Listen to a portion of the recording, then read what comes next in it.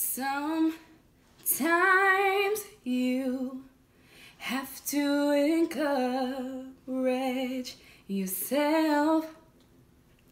Sometimes you have to speak victory during the test.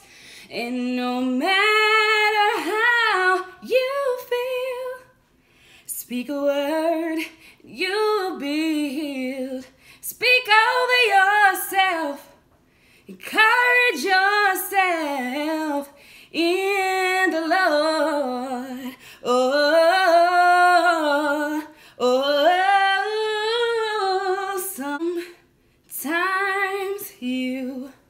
Have to encourage yourself.